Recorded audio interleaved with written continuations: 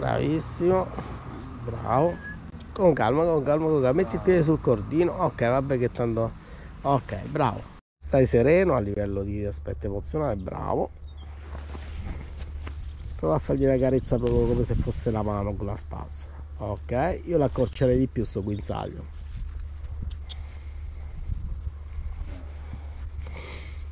Ok questa fiducia va recuperata questo lo prendi pure come compitino a casa col vanghetto aiutala piano piano a tirare fuori il tartuno bravo.